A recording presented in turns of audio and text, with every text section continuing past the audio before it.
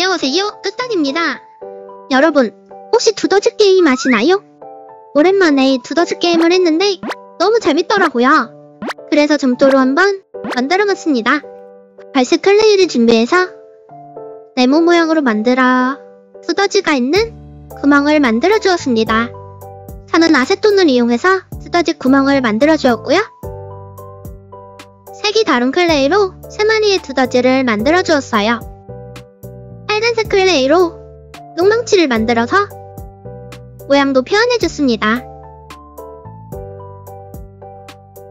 아삭한 점토 부수기 소리를 위해 매니큐어를 발라주었는데 두 번씩 발라주고 바람이 잘 통하는 곳에서 24시간 말려주면 완성입니다. 두더지 게임 점토 부수기 시작할게요.